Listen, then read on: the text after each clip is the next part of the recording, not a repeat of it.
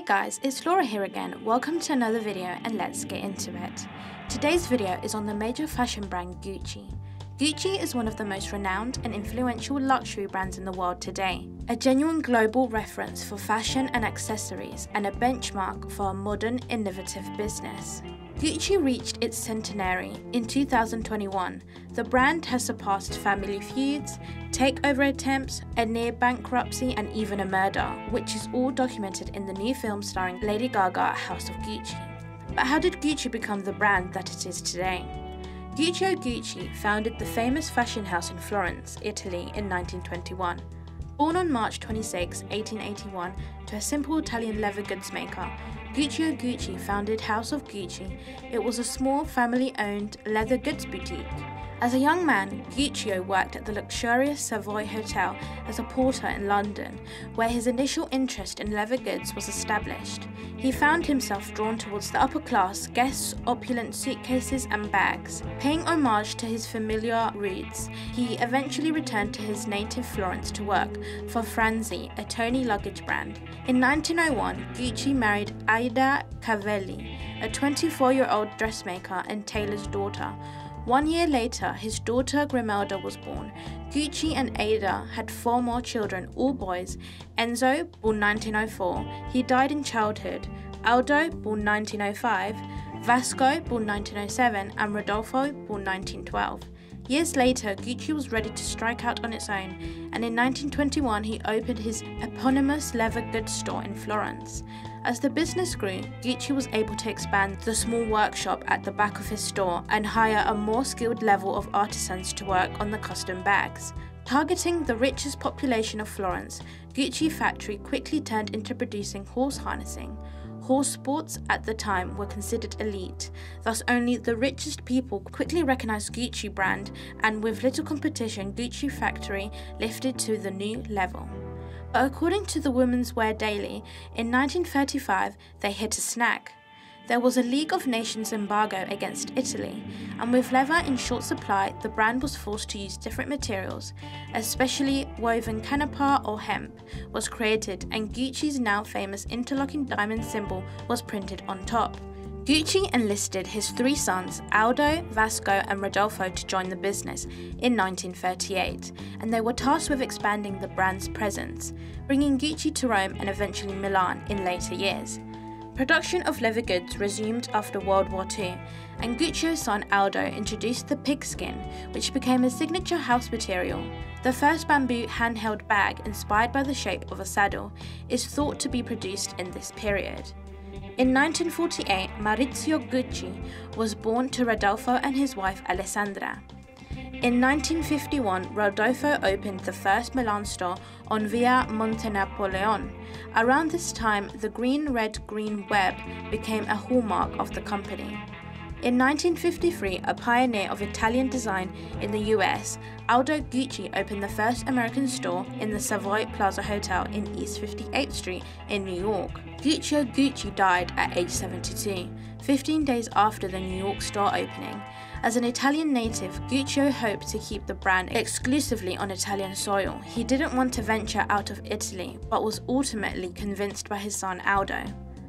The Gucci loafer with metal horse bit was created that year and in 1985 it would be displayed at the Metropolitan Museum of Art in New York, becoming part of the permanent collection. The house's crest became a registered trademark in 1955.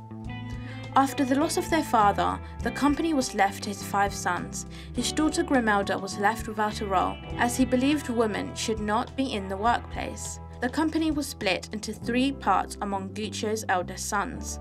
Aldo continued to oversee Gucci's expansion abroad, as well as all major business decisions, while Rodolfo managed the Milan store and Vasco ran a new factory just opened in Florence's Oltrarno district. The Gucci brothers fought to maintain control of the company, which produced palpable familial conflict that carried on for another generation. Nevertheless, Gucci persisted. After his death in 1953, his family was able to take the enormously successful company to new heights by opening stores in Paris, Beverly Hills, London, Palm Beach, and Tokyo. The 1960s brought increased fame to the Gucci empire. Such Hollywood stars as Grace Kelly, Peter Sellers, and Audrey Hepburn made the name Gucci synonymous with chic. Jackie Kennedy helped by being photographed with Gucci shoulder bag, which subsequently became known as the Jackie O. The company adopted the GG logo.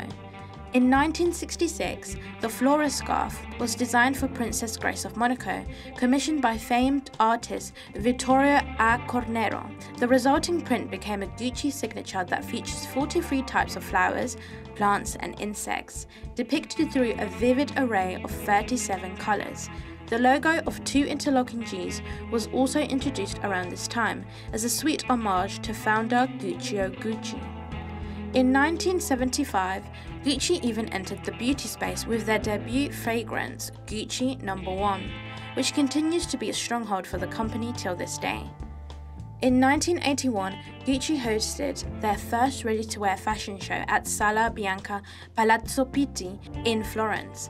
The theme of the runway was the classic flora pattern. Needless to say, it was a huge success. However, with this came a lot of rivalry within the family. For the next few decades, Gucci underwent several major changes, as well as some drama. Guccio's grandchildren were working at the company by the early 80s, and the family was feuding about who would be in control. Eventually, Rodolfo's son Maurizio took over, pushing his cousins and uncle Aldo out of the company. Maurizio soon brought bankruptcy to the company, and so in 1989, Investcorp purchased half of the brand. The first big change in Gucci's revamp was Dawn Mello being assigned as the first creative director, along with a whole new team included Richard Lambertson as design director, Neil Barrett designing menswear, and Tom Ford as the designer of the women's ready-to-wear collection.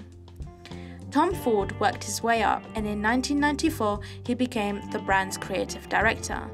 The following year, Maurizio Gucci sold the other half of his shares to Investcorp and in the same year was murdered on March 27, 1995. Maurizio Gucci was gunned down in front of his office in Milan.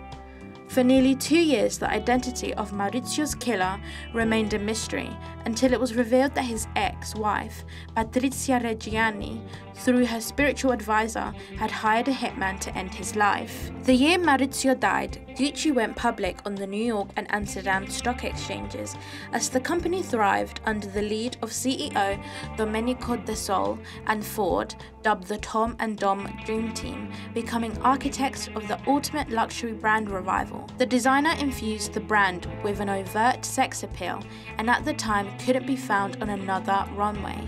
The slinky slip dresses and sexy stilettos stood in stark contrast to the minimalist trend of the 90s and were totally embraced by consumers.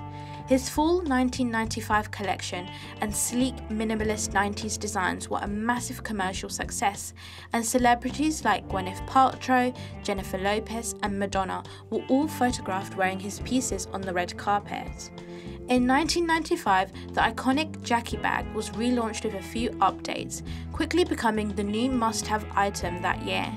In the late 90s, LVMH slowly started purchasing shares of the company, despite pushback from Gucci's then CEO Domenico De Sole. However, before the company took over completely, investor Francois Pinault of Pinault PPR strategically became the major stakeholder. PPR would later be renamed Kering in 2013, and Gucci remains a part of the conglomerate today. Tensions built between the new management and Ford and Sole, who eventually left the company in 2004 after trying and failing to strike a deal for management, financial, and creative independence. In 2002, Frida Giannini, previously handbag designer for Fendi, joined the label's accessories department, contributing bold reinventions of house signatures as part of Ford's design team.